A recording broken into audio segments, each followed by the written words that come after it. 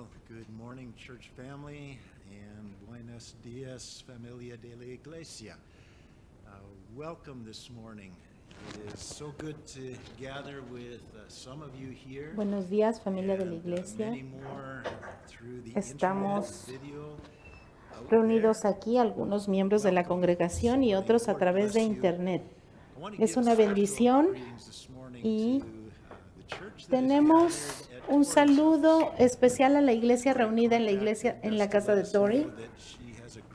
Ellos tienen una reunión ahí y queremos animar este tipo de reuniones para todos y si hay alguien que se está reuniendo además de ellos, pues los animamos. Si no pueden venir el domingo en la mañana, por favor, júntense y vamos a estar orando por ustedes. Vamos a orar por Tori, vamos a orar por todos los que están ahí reunidos y también por todos los que están en sus hogares reunidos. Es importante estar unidos. El enemigo quiere separarnos, pero el Señor tiene sus formas de mantenernos unidos. Quiero también animarlos a seguir orando los unos por los otros. Le damos gracias a Dios por la salud que le ha dado a nuestra iglesia. Nosotros, gracias a Dios, no hemos tenido ninguna incidencia de COVID-19. Alguien que esté asustado, alguien que tenga miedo. Vamos a orar por eso, porque el enemigo trata de aislarnos, trata de evitar el crecimiento de lo que Dios está haciendo. Déjenme decirles que todavía estamos planeando el campamento de este año. Todavía no estamos seguros, tendremos una confirmación segura al final del mes. Así que vamos a orar por nuestro campamento, vamos a orar por nuestra nación. Vamos a orar para que no seamos títeres en las manos del enemigo, sino que el Señor sea líder en- entre nuestros gobernantes. Voy a llamar por favor a Raúl para que pase a leer la escritura en esta mañana. Dios te bendiga, Raúl.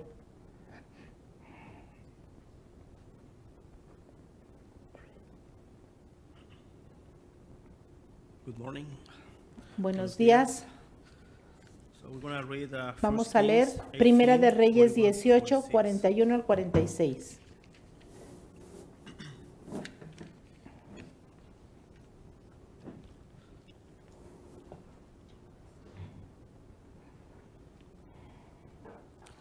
And El- Elijah said unto Luego Elías "Get le dijo a Acab, regresa ya a tu palacio, come y rain." bebe, que viene una gran tormenta.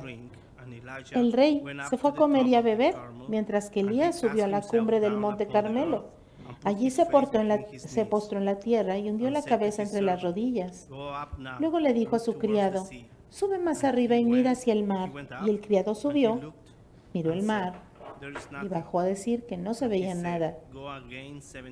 Pero el profeta le ordenó que regresara siete veces más y mirara.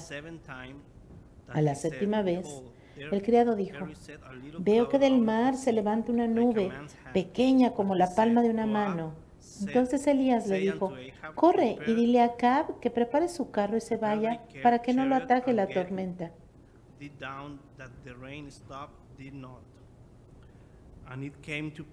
Mientras Elías decía esto al criado, Los, los cielos se llenaron de nubarrones y comenzó a soplar un fuerte viento y se desató una gran tormenta. The partió de ahí y se fue a Jezreel. Pero el poder del Señor estuvo con Elías, quien se ajustó la ropa y echó a correr y llegó a Jezreel antes que el carro de. Acab.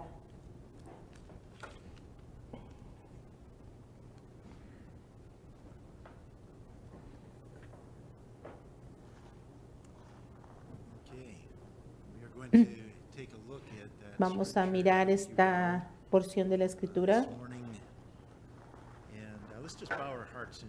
Pero antes de comenzar, vamos a orar. Heavenly Father, we thank you Padre Celestial, te damos gracias por tu palabra. Te damos gracias porque ella es una luz a nuestros caminos y nos muestra los caminos en los que debemos de andar. Señor, te pedimos que palabra sea entendida por todos en esta mañana. Te pedimos, Señor, que podamos entender el significado de esto y la importancia, Señor, que podamos entender cómo intentas que lo apliquemos en nuestras palabras, en nuestras vidas. Te pido por la unción de tu. Espíritu y Señor, dependo de ti. Reconozco que separado de ti no puedo do hacer nada, pero al mismo tiempo todo lo puedo en Cristo que me fortaleza, que me fortalece. Señor, dame dirección y esperanza. Oro, Señor, por tu bendición sobre nuestra iglesia. Donde quiera que esté tu iglesia en esta mañana, yo te pido por aquellos que se están reuniendo en casas, aquellos que están aquí reunidos y aquellos que están reunidos allá con los misioneros en tierras lejanas, Señor.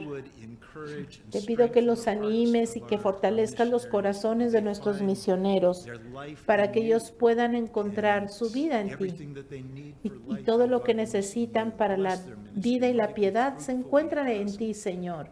Por eso te pedimos por una vida fructífera en ti. En el nombre de Jesús. Amén. In James chapter 5, Santiago capítulo we 5. Read about Elijah Leemos acerca de. Elías y esta vida de 16 oración. says, "The En el verso fervent prayer 16 of a righteous man dice que much." Elijah la oración del justo puede mucho.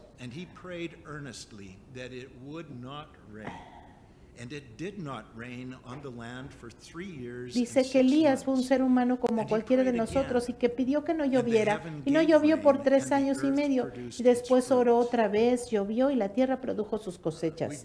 Esto está en Santiago of 5, Elijah, verso 16 al starting with 18. God's call to- to go speak to, En uh, la, King en la tierra de Israel, en aquellos días la tierra estaba dividida. Ya vimos que hubo una sequía, que Elías habló con el rey Acab. En este tiempo no, llovió y hubo sequía. También vimos cómo el Señor mostró su autoridad y su poder en el monte Carmelo en medio de, la debilidad de los profetas de... De Baal. Y eso ya lo vimos en semanas pasadas. Lo que vamos a ver ahora es cómo esta tierra de Israel estaba dividida en dos reinos. El reino del norte que era de Israel y el reino del sur de, que era de Judá. Este reino una Uh, vez estuvo unido caminando en los caminos del Señor.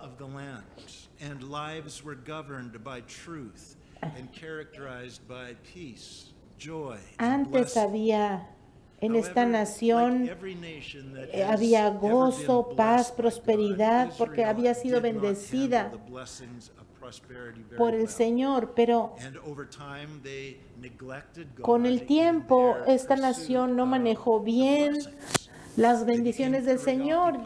Se volvieron personas preocupadas por las riquezas materiales y no manejaron bien esta riqueza que tenemos, que tenían. Después de los días de Elías vino el Señor Jesús y dijo estas palabras que son muy ciertas y se aplican a esos días también, que nadie puede se- servir a dos maestros, a dos amos, porque va a odiar a uno y amar a otro, o será leal a uno y despreciará al otro. No se puede servir a Dios y a las riquezas. Y este patrón que se repitió en los días de Elías, se repite una vez más. Nuestra nación, que una vez conoció y sirvió al Señor, ahora ha volteado su espalda a las a, a la palabra del Señor.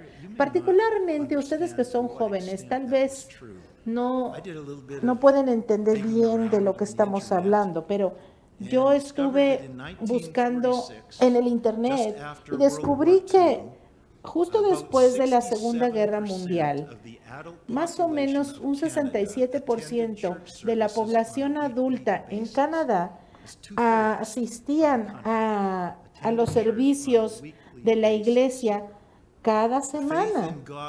La fe en el Señor resultó en una prosperidad tremenda de nuestra nación en muchas, de muchas maneras.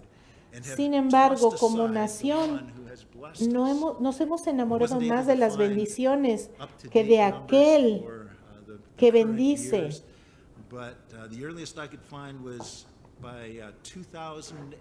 Eh, en, las estadísticas más modernas que encontré son del 2013 eh, y dice que toda la asistencia religiosa de todas las fees eh, de, de la fe cristiana ha decaído.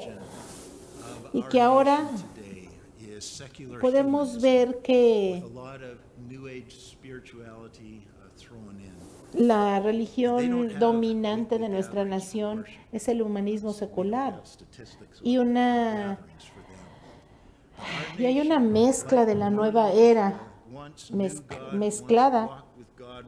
Entonces podemos ver que, bueno, a pesar de que no hay una estadística cierta, lo podemos ver como es cierto que se ha rechazado la influencia de Dios sobre la gente de nuestro pueblo, de nuestro país.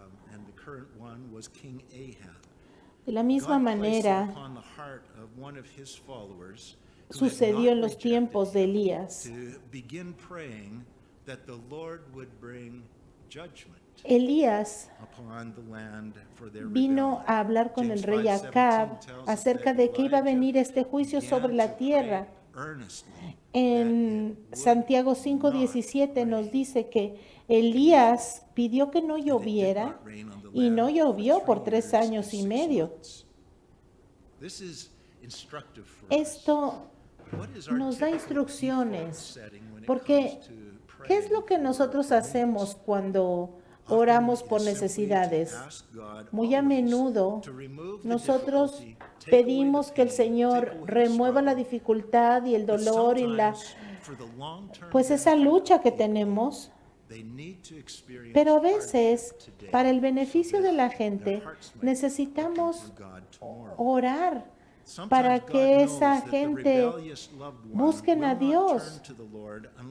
Porque muchas veces la gente rebelde que alguna vez amó al Señor, no vuelven al Señor a menos que todas las cosas que lo separaron de Dios le fallen.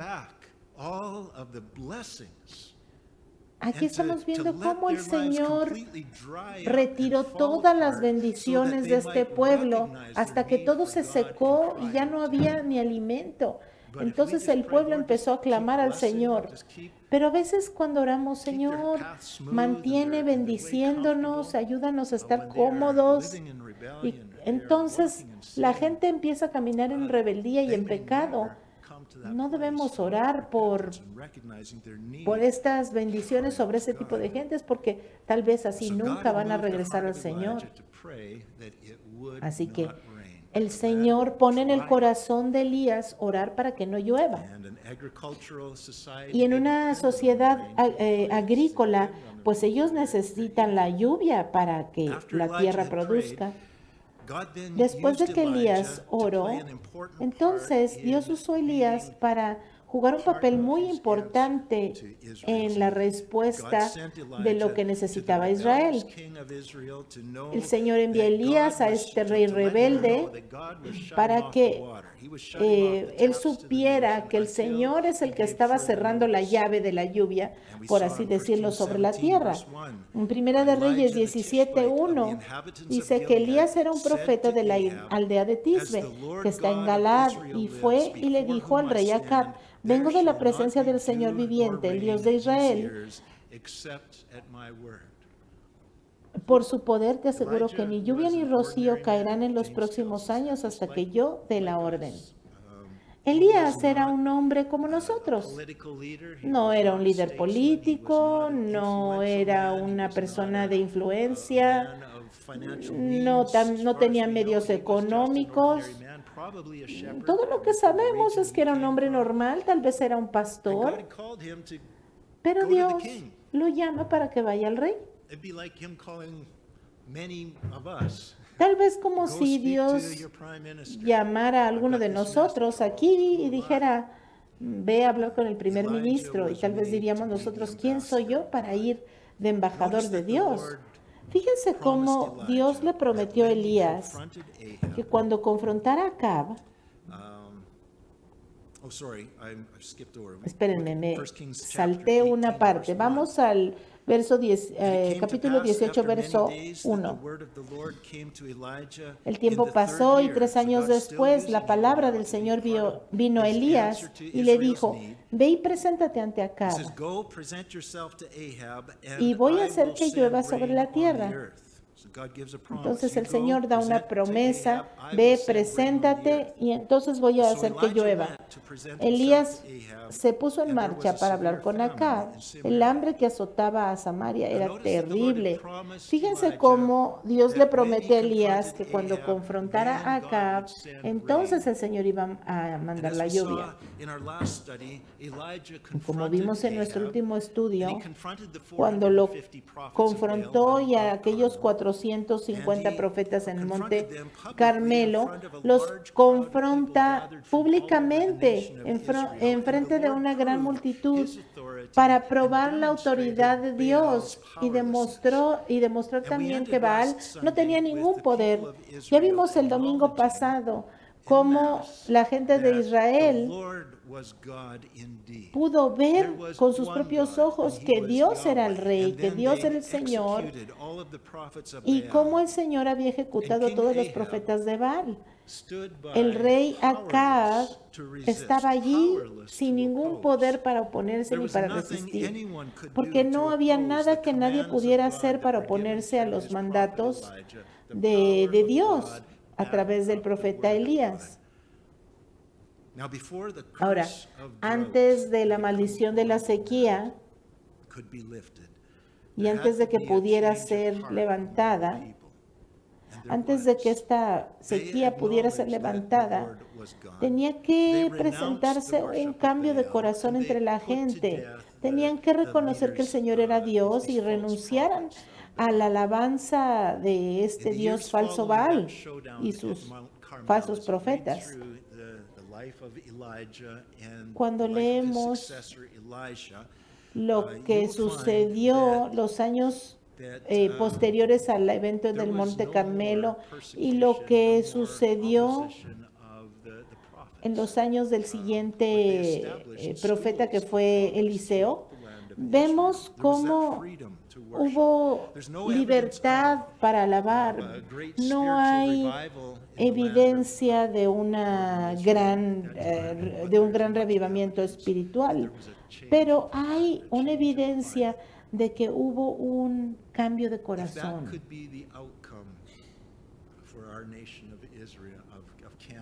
Podría ser esto también el caso para nuestra nación en Canadá? ¿No creen que valdría la pena orar por una cosa así como la sequía de Israel de tres años y medio? A mí me gustaría pensar tal vez inocentemente que nuestra nación pudiera cambiar y, reconocer a Dios. Sabemos que el Señor Jesucristo viene pronto a tomar a su, a su novia. Sabemos que el día de juicio viene pronto, pero no sabemos cuándo. Las señales están allí y muy posiblemente estamos eh, muy cerca del rapto y de la tribulación. Pero hay aquellos que todavía no han venido al Señor y le pedimos al Señor por aquellos que todavía no le conocen para que se vuelvan al Señor. in verse 41. Leemos más adelante en el verso showdown on 41. Mount Carmel, Después de lo que sucedió en el monte Carmelo, King Ahab, "Go up, entonces Elías le dijo al rey Acab, ahora come y bebe, porque viene rain." una lluvia fuerte. Entonces el rey Acab fue a comer. Y al mismo tiempo Elías subió al monte Carmelo y en la cima de la montaña Elías se agachó y puso su cabeza entre las rodillas. Cada quien se fue por su propio camino. Tres años y medio antes, Dios había hablado a Elías y lo había ah, guiado a declarar que no habría lluvia hasta que Él no lo declarara. 41 Ahora en el verso climactic point 41 of this event, Elijah is vemos el clímax de este evento. como, Eli- Elías recibe la instrucción de Dios, la instrucción profética de que la lluvia viene. Aquí vemos dos contrastes muy profundos entre estos dos hombres. Acab, el rey, que es líder de la nación, que debería de haber dado el liderazgo espiritual a la nación. Él debería de haber eh, marcado el camino para que su gente buscara a Dios. Pero- and away from the sin of Ahab. Ahab, Sabemos leader, que- should have been denying himself throughout this whole three and a half Acab estaba en pecado. Él Debió haberse negado a sí mismo para buscar las necesidades de su pueblo primero. Pero, sin embargo, a través de esta crisis, el rey era indulgente consigo mismo, había eh, awesome display of God's power, sacrificado a su pueblo, por así decirlo. Y ahora, después de esta de este despliegue de autoridad y de poder de Dios y después de la ejecución de estos profetas, Acab ni siquiera piensa en arrepentirse delante de Dios, sino que Él está feliz y egoístamente va a comer una buena comida como si nada hubiera pasado. En contraste vemos a Elías, que tenía todas las razones para ir, comer, celebrar por la victoria que había sido ganada por el Señor en el monte Carmelo. Fíjense qué contraste entre estos to dos. Y hago este contraste porque cada uno de nosotros tenemos cosas de las que debemos de responder. ¿Cómo vamos a responder? Como líderes o personas de influencia, como padres de familia o como personas que trabajamos o, o- o gente que estamos aquí en la iglesia. ¿Cómo vamos a vivir? ¿Nos vamos a poner a nosotros mismos primero o vamos a poner a los demás por encima de nosotros? El Señor había reivindicado a Elías delante de la gente. Lo había protegido de sus enemigos que querían matarlo. El Señor había usado a este hombre para desplegar su poder, el poder de Dios delante de estos 450 enemigos, matándolos y Elías fue testigo de ello, pero a pesar de que podía totalmente celebrarlo, él se va y ayuna de esta cena y se postra delante del Señor e intercede por la nación delante de Dios para que el Señor mande esta lluvia tan necesaria sobre la tierra. Las crisis de la vida tienen una forma de revelar el corazón de la gente. Las crisis en las que, que, que atravesamos en la vida revelan el corazón de las gentes. La gente mala en tiempo de crisis busca mantener la ilusión de que todo sigue normal. Ellos no ven la necesidad de arrepentimiento, no ven la necesidad de hacer cambios radicales. En lugar de the esto, siguen pleasures, persiguiendo los placeres de la and vida, entertainment las comodidades y el entretenimiento, en un of God's intento eh, around de adormecer la realidad que están viviendo. ¿Cómo estamos respondiendo a esta pandemia eh, y a la economía que está colapsando en estos tiempos? Somos como changes? tratando de fingir que no pasa nada, que no necesitamos ningún cambio radical. Seguimos tratando de mantener un- una vida indulgente y materialista, eh, impulsados por nuestro gobierno. O estamos en una actitud humilde delante del Señor. Una característica de la iglesia en los días de Cristo debería de responder a la crisis con oración. ¿Qué clase de líder eres tú en tu familia o entre tus amigos? ¿Qué clase de líder eres en la iglesia? Eres una persona que está lista como I a Ser indulgente, tengo mis planes, tengo mis sueños, ay, ojalá que esta cosa inconveniente se quite del camino pronto. O eres como Elías, hearts to God, cambiando los corazones hacia el Señor. to display that God is at work. Y en medio de las, de las, de las, de las crisis y de las necesidades, tú estás volteando al Señor porque sabes que hay algo que hacer y pones toda tu atención para interceder por aquellos que el Señor te ha llamado a amar. Aquí hay una cosa interesante. El Señor le dio una, una promesa en el verso confronted 1, Ahab, cuando Elías confrontó a "You confront Acab, el Señor le dio una promesa ahí why didn't Elijah que iba a mandar and la lluvia? Go join Entonces, ¿Por qué si Dios ya había prometido que cuando el Señor dijera que iba a mandar la lluvia, la mandaría? ¿Por qué? Elías no se fue a celebrar, a celebrar lo que el Señor ya había prometido. Algunos lo pueden interpretar como esto es falta de fe, porque él se fue a orar en lugar de celebrar. ¿Por qué no reclamó esta promesa y se fue a cenar? Para celebrar? Bueno, una promesa de Dios no significa que la oración ya no es necesaria. Why not just claim the promise and go enjoy dinner? ¿Por That is qué? not why God gives promises. ¿Por qué es que no se fue a celebrar? Bueno,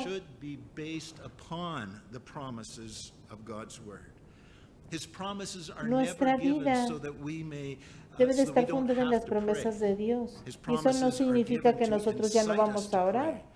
Pray. His promises are given to fuel faith in El Señor nos I'm going to receive what I am Quiere que nosotros sigamos orando, porque es a través de la oración que nosotros podemos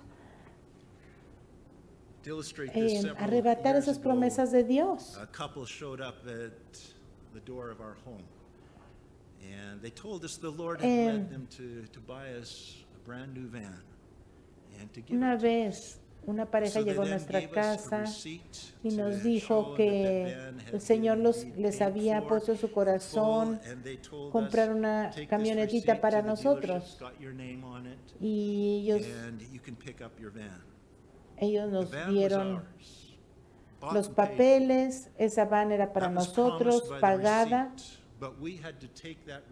y nos, nos dieron el, el recibo y todo. Esa promesa ya era nuestra, pero nosotros todavía teníamos que llegar allá con el vendedor y tomar la camioneta porque ya era nuestra. Reclamar una promesa es como diciendo ir con el vendedor y tomar aquello que ya está pagado para nosotros. Así que Elías había recibido la promesa. Ahora ya no había confrontación, pero era tiempo de ir a Dios en oración y reclamar esta promesa de lluvia delante de Dios. Entonces leemos que Elías subió al monte Carmelo, en la cima de la montaña, y él se agachó y puso su cabeza entre las rodillas. Fíjense cómo Elías oró. Unas horas antes, él estuvo allí firmemente delante de la gente como embajador y habló con la autoridad de Dios a la gente. Ahora, unas horas después, Él está ahí delante de Dios como un intercesor. Él no toma una postura autoritativa para mandar o para ordenar el cumplimiento de esas promesas. En lugar de esto, Él se arrodilla delante del trono de Dios. Sí, Él viene con confianza, pero también viene con humildad, reconociendo la majestad, la santidad y el poder del Dios soberano delante del cual Él está. El verso 43 dice, y dijo a su siervo, ve ahora y mira hacia el mar. El siervo se acercó hasta donde podía ver y dijo, no veo nada. Elías le dijo que fuera de nuevo y lo hizo por siete veces. ¿Quién es este siervo? Hemos estudiado a Elías y nunca habíamos sabido de un siervo. Bueno, él tenía un siervo. Y piensen, ¿Qué es lo que Elías ha estado haciendo por tres años y medio? Él pasó este tiempo escondido en la casa de una viuda y su hijo. Nadie nos ha dicho qué edad tenía el hijo, pero tal vez podemos imaginarnos que este siervo era el hijo de la viuda que había, volvido, había vuelto de la muerte y tal vez Elías lo había entrenado por estos tres años y medio, enseñándole a orar, enseñándole a conocer a Dios, caminar con Dios, escuchar la voz del Señor. Y ahora ya lo trae en este viaje para asistirlo. Imagínense qué experiencia tan maravillosa para este joven Cualquiera que sea el caso de este joven, yo pienso que puede ser este muchacho, pero en fin, eh, desde la posición donde Elías estaba orando no podía ver el mar Mediterráneo, pero en esa dirección típicamente venía la lluvia a la tierra.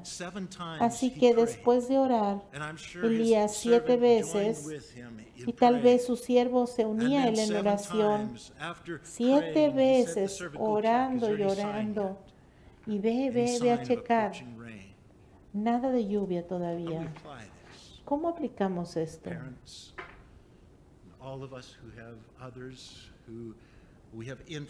Padres, sobre todo esto para los padres, oren por sus hijos para que ellos puedan aprender, aprender de ustedes cómo orar y enséñenlos a buscar las respuestas de Dios y a esperarlas, porque muchas veces oramos por alguien, pero no esperamos por las respuestas de las personas.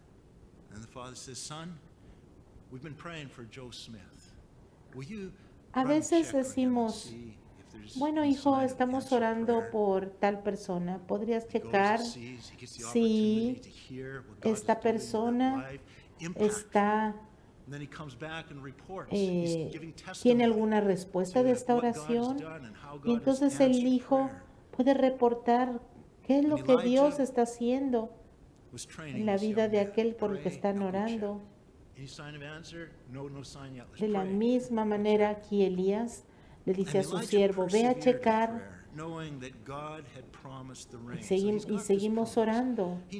El Señor había prometido, Elías sabía que Dios iba a cumplir, porque él tenía una fe muy grande en Dios. Imagínense cómo estaba, de qué manera estaba orando Elías. Bueno, él estaba esperando la, la lluvia. Yo no creo que él estaba rogando por la lluvia. Más bien él estaba esperando que Dios la mandara con toda seguridad. Una oración sincera delante de Dios no es rogar, es una oración que expresa fe y confianza en el Señor y en su palabra, pero es una oración en la que uno está esperando delante del Señor por las respuestas. Esta twisting God's arm. respues- It's not esta oración es no tratar de torcerle el brazo al Señor para que responda la manipulation. oración. No, eso es manipulación. A La oración ferviente del hijo o la hija de Dios incluye adoración, acción de gracias. Y tal vez esto lo incluía por acción de gracias por la lluvia que Dios iba a mandar. Imagínense esta escena, lo que Elías está viviendo en este "When I momento, diciendo, Señor, that was." qué confrontación "Then tuve con, con Acab come." y después ya no hubo lluvia y ahora, Señor, ya viene la lluvia. Tal vez Elías estaba lleno de alabanza, de adoración, de expectativa. Tal vez era una oración llena de emoción, una oración exuberante, llena de asombro "God, that was por todo lo que Dios había hecho. Señor.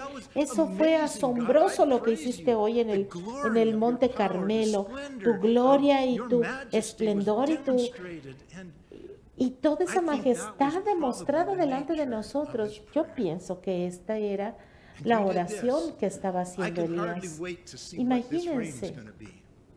Como Elías tal vez decía, Señor, no me puedo ni imaginar cómo va a ser esta lluvia. Muchas veces nosotros pensamos que al orar tenemos que manipular a Dios, como si estuvieras buscando la combinación de una caja fuerte, tratar de encontrar las palabras correctas para que Dios te oiga. Pero no es así. El Señor actuó conforme a la promesa y. Elías, Elías oró y Elías recibió. Estas no eran unas oraciones largas. So this whole scene takes place in, Toda la escena evening during the supper se lleva a cabo durante la hora de la cena. Antes de que Effective, fervent prayer doesn't have to take a long time. though it estas oraciones no tienen que tomar tanto tiempo. No era una oración de esas largas, largas, repitiendo lo mismo. No. Insights. May this help guide us in our praying. Y déjenme, de les- y déjenme decirles que esto nos puede ayudar a orar. ¿Cómo es 44. Dios? ¿Cómo podemos orar nosotros? Verso said, as 44, his servant al volver por la séptima "There's a vez, El siervo le dijo a Elías, ve una sea." nube pequeña del tamaño del puño de un hombre. Elijah said, "Go up, Viene del mar. Elías le dijo al siervo, ve y dile al rey Acab que prepare su carruaje you." para ir a casa. Si él no sale ahora, la lluvia lo va a detener. Fíjense, esta es la primera nubecilla que se ve en mucho tiempo. Era una señal de que- excited about. It was important enough to- to Era una señal importante. El siervo estaba contento de ver esta señal porque también era una señal de que la lluvia prometida ya estaba en camino. Por eso le dice a su siervo que vaya a advertirle a Acab de que se vaya pronto porque viene una lluvia muy fuerte. Elijah knew that after what had happened that day, this isn't going to be a sprinkle.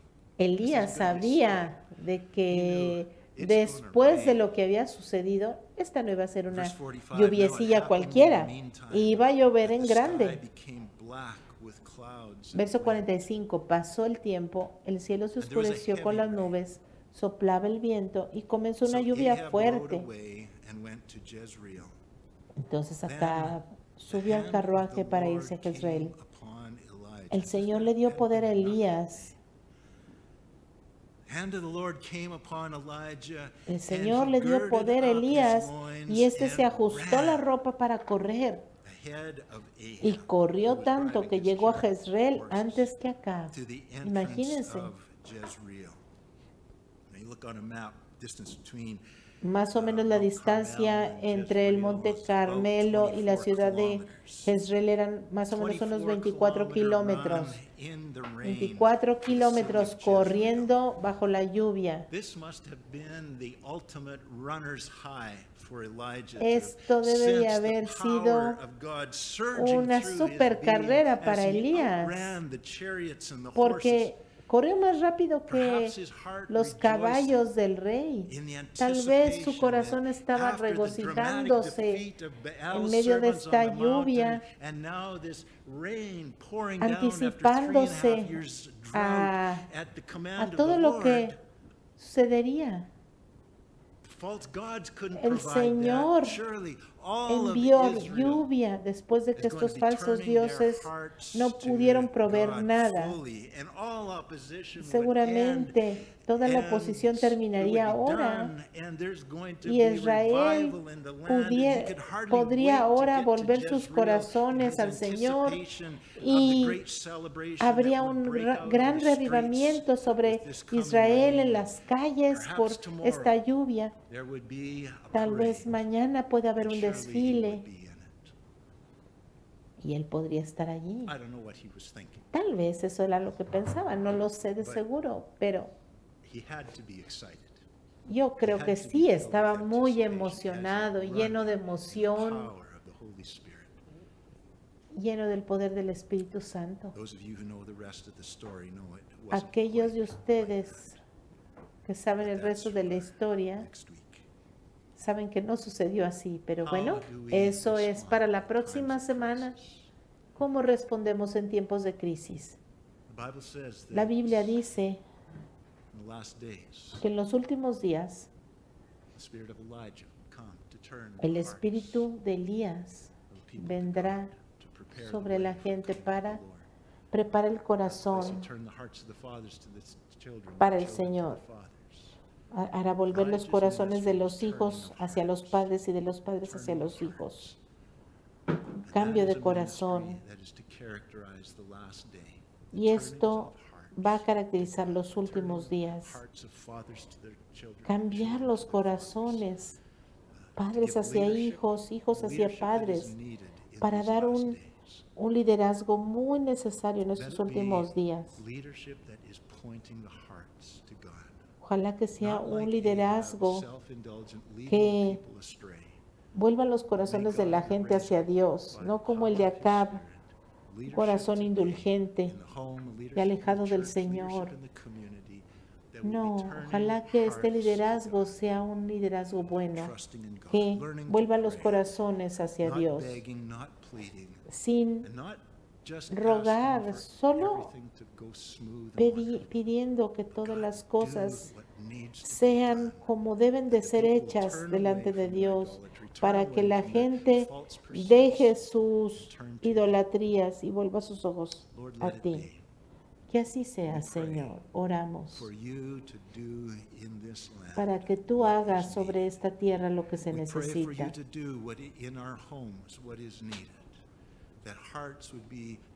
Oramos, Señor, para que este pueblo se vuelva a ti. Oramos, Señor, esperando que tú cumplas tus promesas, Señor, y nos that would give Ayude, boldness Señor, que tengamos ese valor para estar firmes delante de la gente y que tengamos valor, Señor, para pedir delante de ti y que tú nos capacites, Señor, para que no caminemos en las, los caminos de este mundo, Señor. Hay. Un costo muy grande involucrado, Señor, en esto. Padre, sabemos que solamente en el poder de tu Espíritu lo podemos. Hacer. Señor, oro por tu iglesia, oro por tu mano de protección sobre nuestras vidas. Oro para que tú nos guardes, Señor, de esta crisis del COVID. Pero, Señor, oro también para que no seamos como el rey Acab, que estemos orando solamente para que las cosas vuelvan a ser como antes. Señor, oro para que tú fully to you, that we hagas que los corazones se vuelvan a ti. Señor, que te busquemos con todo nuestro corazón, Señor. Que así como el siervo busca, busca por las aguas, nosotros busquemos por ti, Señor. Que nosotros podamos dirigir a nuestros hijos a confiar en ti, Señor. Te lo pedimos. Señor, en el nombre de Jesús. Y oro especialmente para que tú levantes a los hombres de nuestras congregaciones, que sean hombres fieles y valientes en el nombre de. Jesús. Amén.